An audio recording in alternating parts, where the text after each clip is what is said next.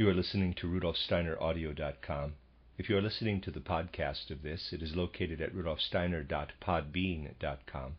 Please consider becoming a patron.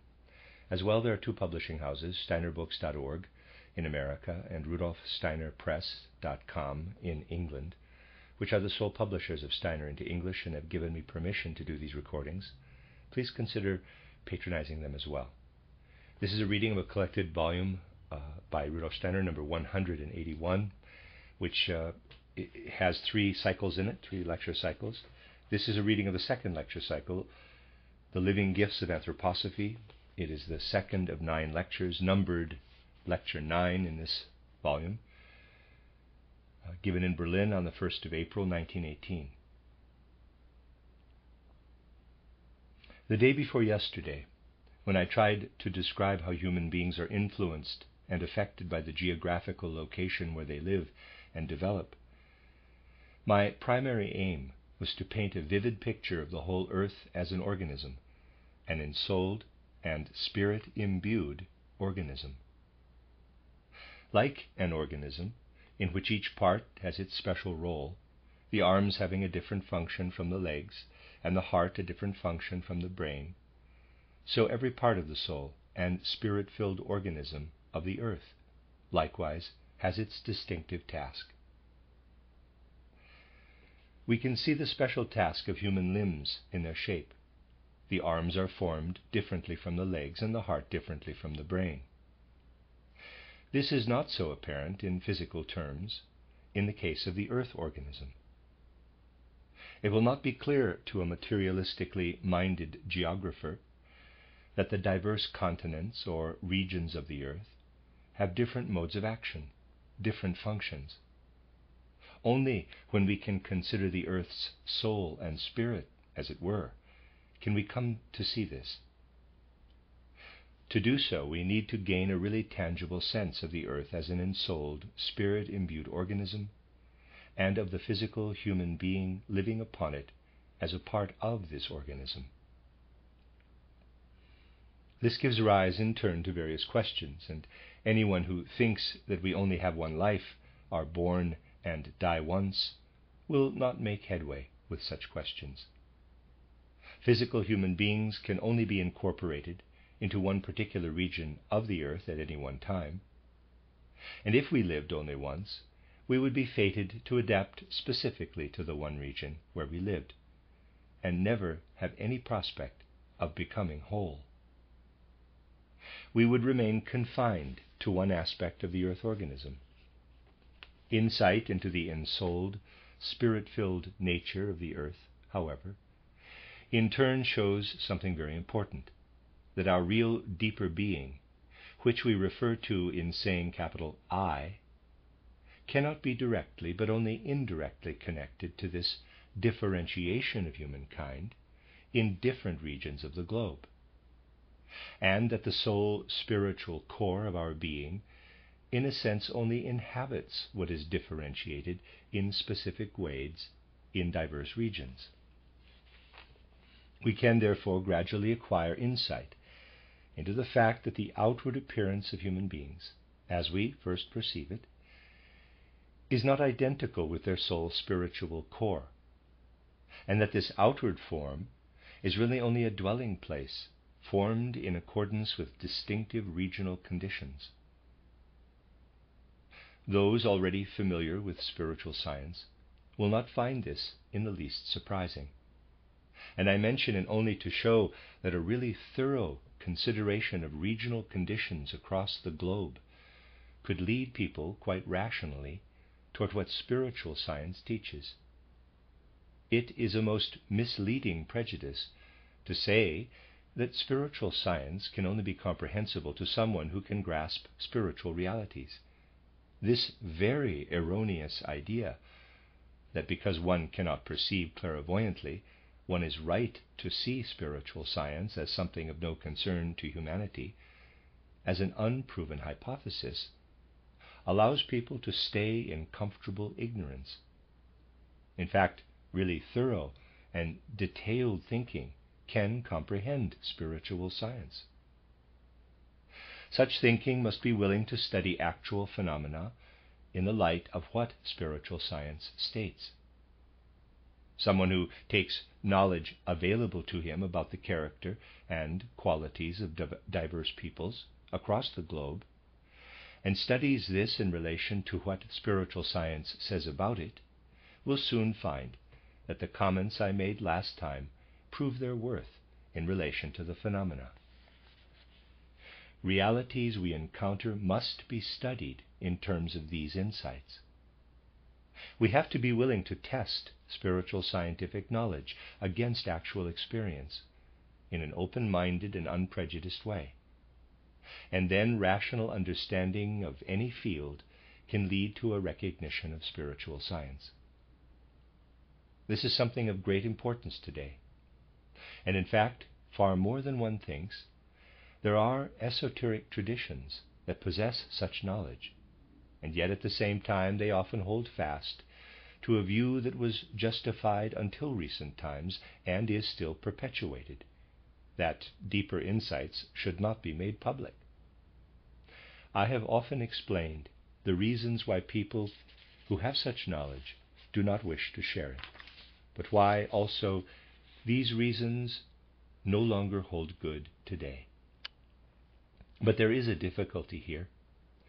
Firstly, one is up against the refusal of most of humanity to countenance spiritual science, and then also meets opposition from those who think it wrong to reveal truths discovered by spiritual science in the same way that other truths are revealed.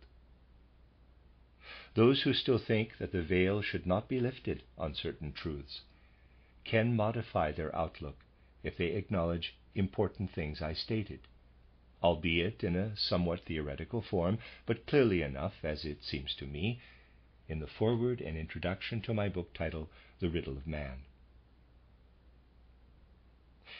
One thing that needs to be understood is that the concept of true or false that most people have nowadays should be overcome. As I have repeatedly stressed, also in my preface to title The Riddle of Man, the dualism of right or wrong needs to be enlarged by seeing every view as one aspect of truth, like a photograph from one particular angle. If you photograph a tree first from one side and then from another, the second picture shows the same tree as the first, despite looking different.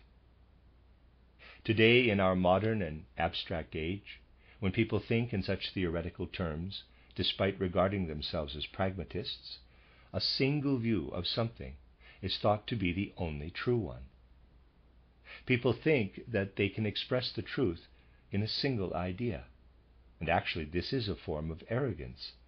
It is arrogant to think, for example, that the Copernican worldview is the only right way to see things, and that before Copernicus no one says this, but they do think it.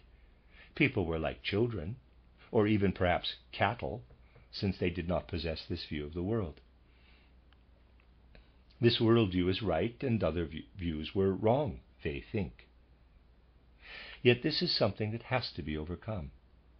Even the Copernican worldview is only one view, a particular way of looking about the world, of picturing it. There are people who, the moment they notice that spiritual science is putting one view of things, will oppose it with another. In fact, no one who knows there are diverse views of anything will deny this. Nowadays, however, many wish to further their inquiries in a way that can be summed up metaphorically as turning off the light in a room and feeling one's way around it to avoid any single partisan perspective. This, they think, will give a true picture of the room, as opposed to multiple perspectives. In a sense, this is the ideal of modern science switching the light off and just feeling around in the dark. To counter this, spiritual science has to turn the light on again and acknowledge all the different possible angles on everything. We base our efforts on circulating around things and seeing them from many different angles. That has been our aim for years. And in response, some may say that the different angles are contradictory. But it is important for us to acknowledge the contradictions, since this is what gives us an all round view of things, which is precisely what we want. It is not a comfortable position, of course, for people like best to fit their whole view of the world into a small pamphlet, if possible, with as few pages as possible, or make one view the central hub of all their ideas. That, of course, leads to a narrow perspective. Whereas our publications are continually expanding to illumine things from different sides and to compile a great many views from which a whole picture of reality can emerge. But at the same time, you will discover that we affront people when the truths we discover through a science of the Spirit increasingly transgress against their dearly held prejudices. And especially, too, when we ignore the demands of certain occultists to keep important matters veiled in secrecy. We find ourselves speaking of things that shock, annoy, or irritate people. Partly, at least, also because many think something has to be one thing or another, either right or wrong. Instead, they ought to see that as humanity evolves, there can never be a single status quo, an absolute truth in relation to any field or discipline. We can never say either that something is utterly wrong. There is no such thing. It is not to provide some final answer that certain views are emerging now, nor should this mean that we look back on previous generations as childlike. Such views are coming to the fore now for a quite different reason. Let us recall here something we all know. In the 15th century, humanity entered the fifth cultural epoch of post Atlantean development, which we call that of the consciousness soul.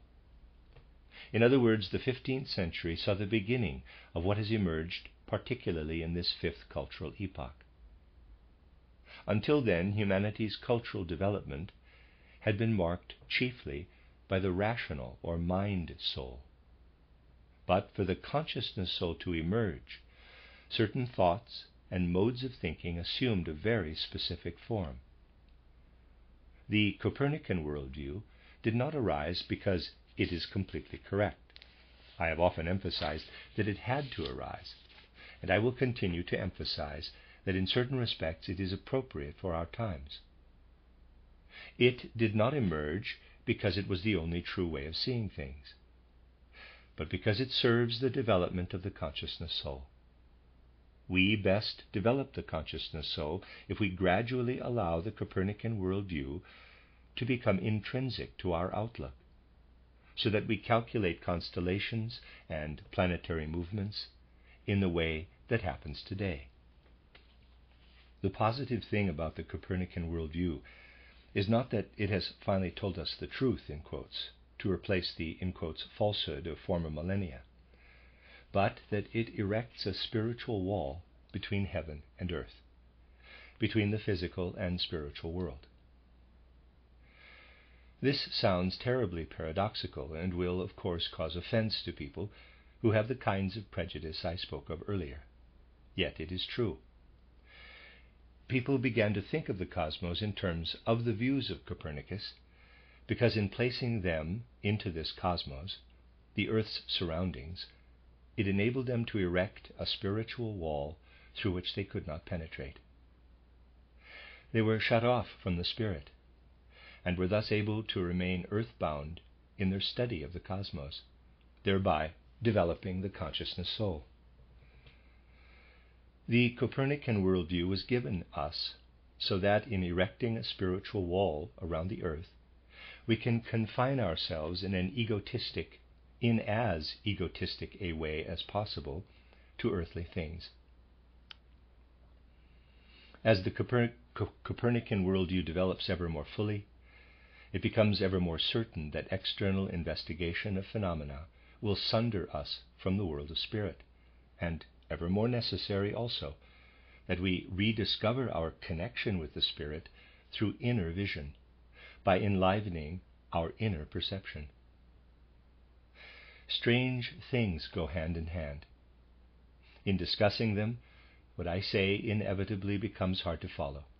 But since there is no other means of understanding them than through anthroposophy, it is anthroposophists who will have to make strenuous efforts to understand them. The philosophical discipline based on Kant is today called epistemology.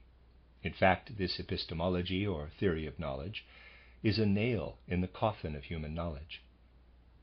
One chief idea that commonly springs to most people's minds when they think of the Kantian theory of knowledge is that the, in quotes, thing outside us is really only an ether vibration, something that has nothing to do with color or tone, but that exists as the motion of the smallest particles in space. Outside us, the air vibrates tonelessly.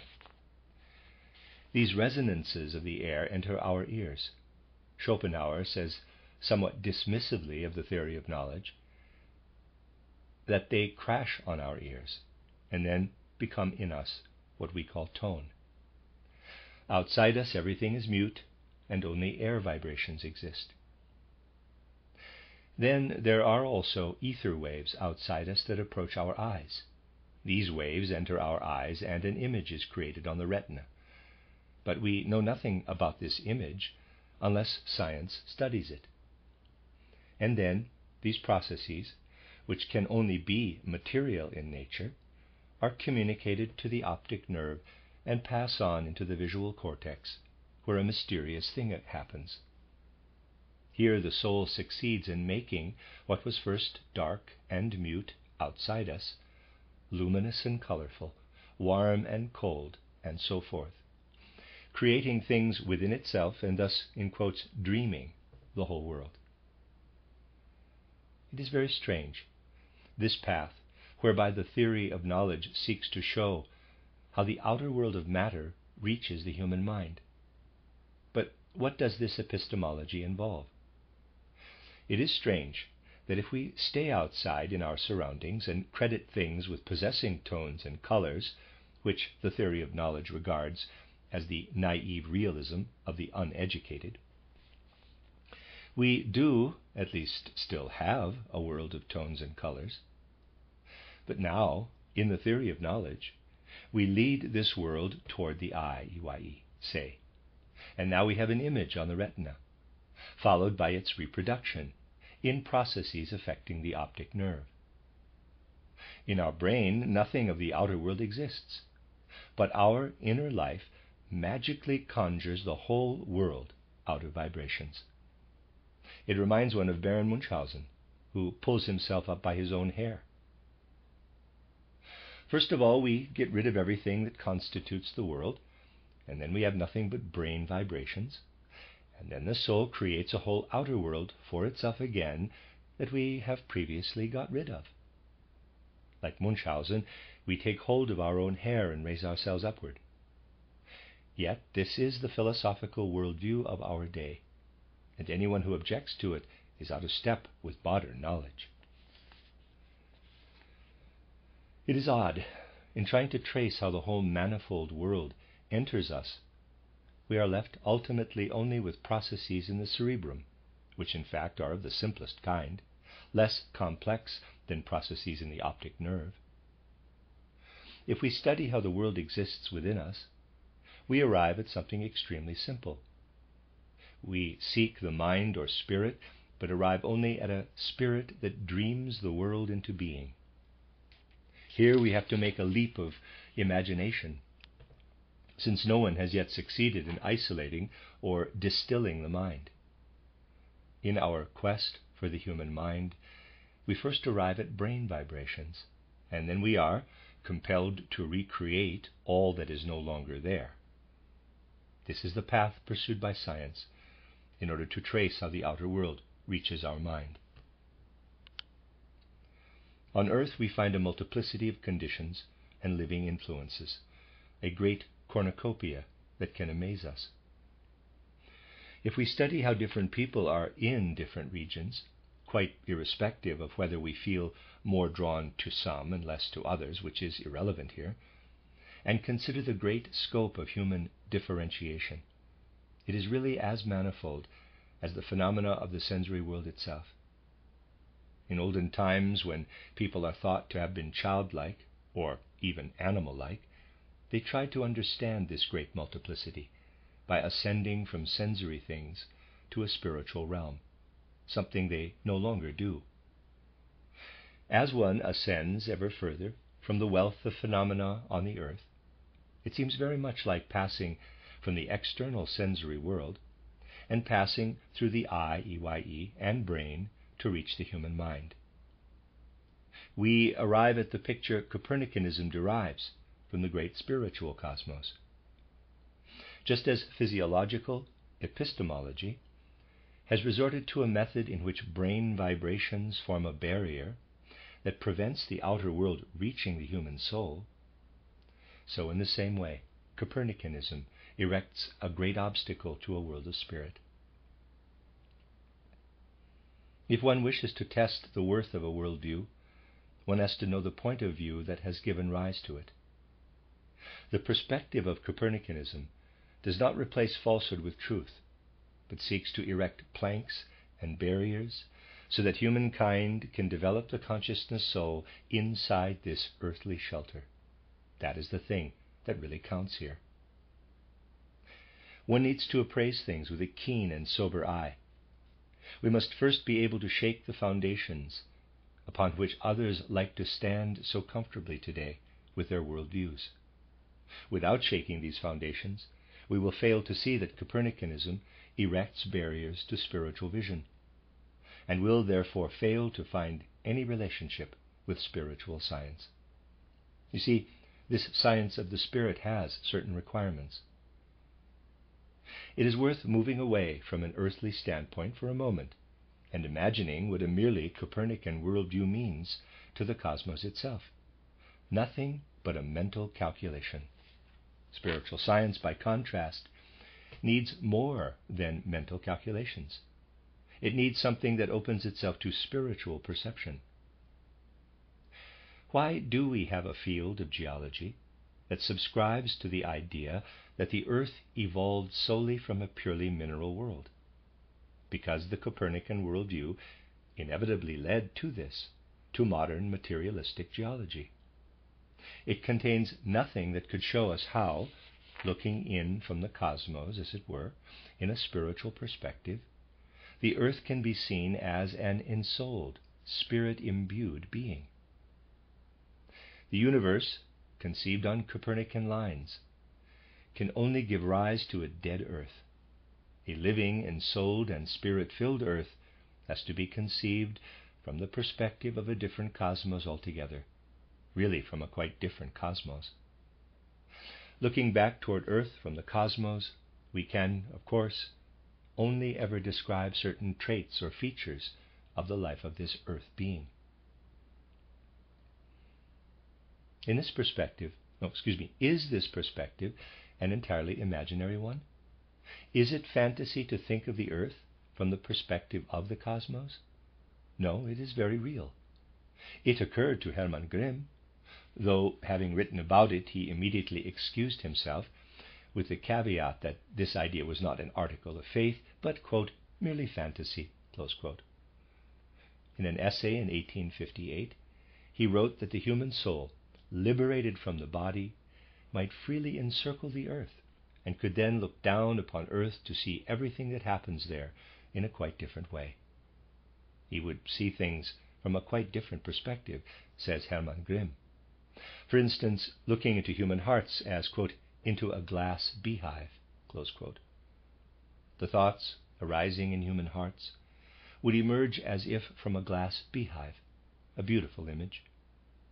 And then, said Grimm, one could imagine that after floating around the earth for some time and looking down on it from without, the soul would reincarnate upon earth, would have a father and mother, a country, and all that exists on earth, and would have to forget all that it had experienced from the cosmic perspective. And if the soul became an historian in the modern sense, Hermann Grimm is talking subjectively, he would inevitably have to forget all he had known before, since one cannot write history with that different perspective. This picture comes very close to the truth. It is true that the human soul floats around the earth, in a sense, between death and a new birth, and looks down upon earth. But in a way determined by karmic connections, as I have often described. The soul certainly has the feeling, then, that this earth is an ensouled and spirit filled organism. And the prejudice disappears that it is only a geological structure without soul. In after death vision, we see the earth in a highly differentiated way, so that, for instance, the Orient appears different in nature from the American Occident. You cannot speak to the dead about the earth in the same way as geologists speak, for they fail to understand geological ideas. When they look down from cosmic space upon the Orient, extending from Asia a long way into Russia, the earth in that region appears to them to shimmer with a blue color, a bluish purple. The Western Hemisphere, on the other hand, tinged with a more American nuance, appears to them to be a fiery red. That is the polarity they see when they look down on Earth from the cosmos. Naturally, this does not figure in the Copernican worldview. It is a different kind of perception from a different perspective.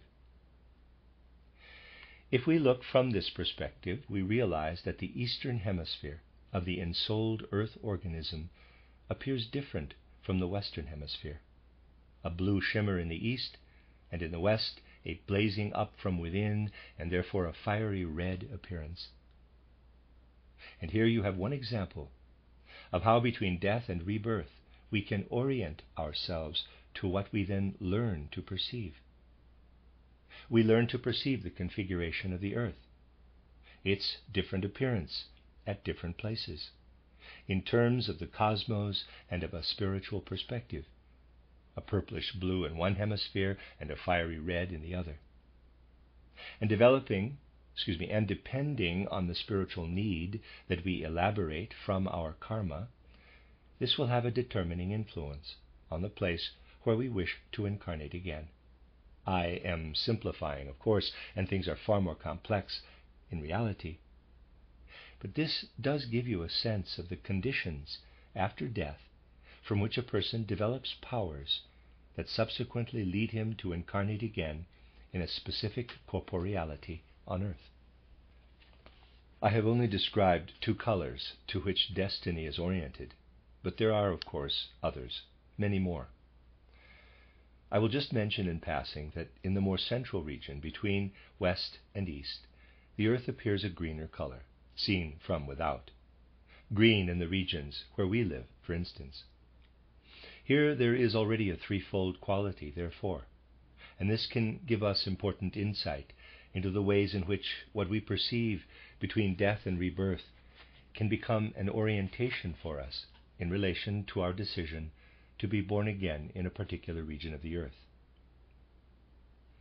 If we give due attention to such matters, we can gradually come to see that certain things never usually considered are at work in the interplay between people embodied here on earth and disembodied souls. When we go abroad and wish to understand people in another country, we have to learn their language.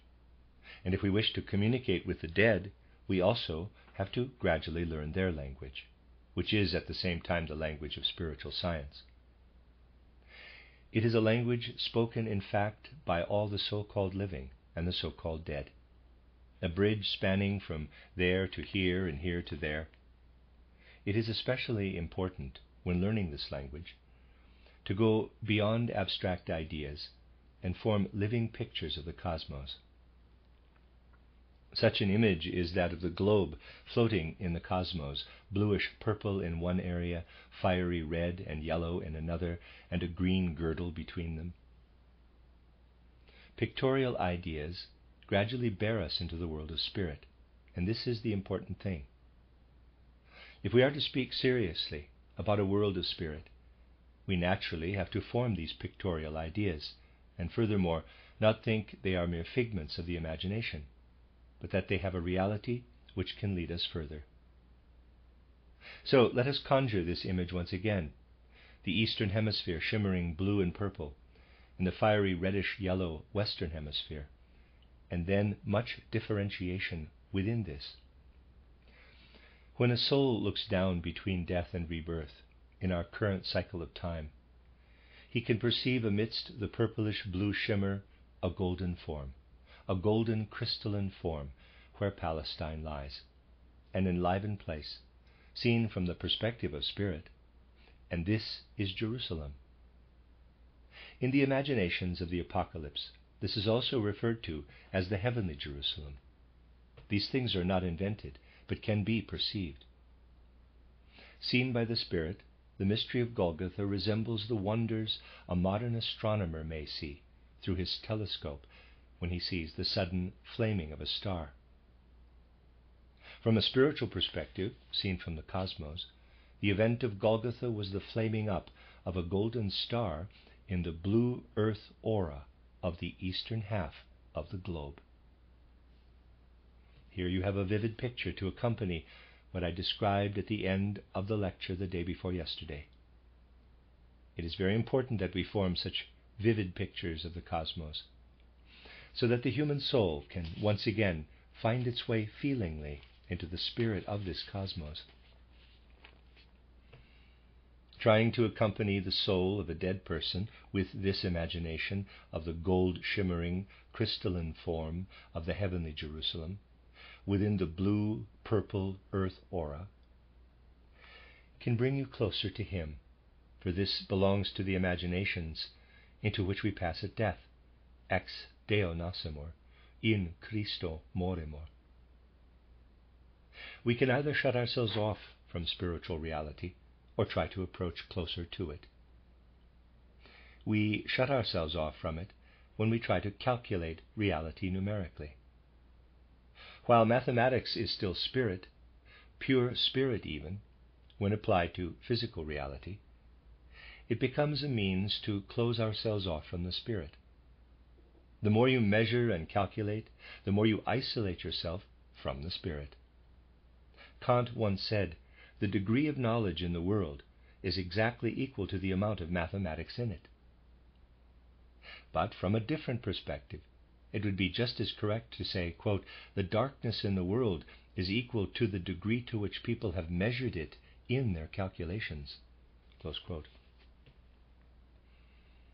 We come closer to the life of spirit to the extent that we move on increasingly from external perceptions, especially from abstract ideas, to imaginations, to pictures. Copernicus led us all into ways of calculating the universe. The opposite mode of vision must lead us to imagine the world again, to picture it vividly, to conceive a universe with which the human soul can identify, so that the earth appears within it as a shining sphere, bluish purple in one hemisphere, with a gold shimmering heavenly Jerusalem, and a fiery yellowish red in the other. Where does the shimmering bluish purple in the earth aura originate? In looking from without upon this aspect of the globe, its physical nature recedes. The light aura becomes more transparent, and the earth's darkness vanishes. This creates the blue color that shines through, a phenomenon that can be explained in terms of Goethe's theory of colors. But in the Western Hemisphere, the inner nature of the earth flames up and confirms what I described in my last lecture. In America, people are strongly influenced by what comes from below the earth, what is subterranean. And this is why the sparks of a reddish yellow fire gleam and shine from within the earth and out into the cosmos, shimmering red and yellow.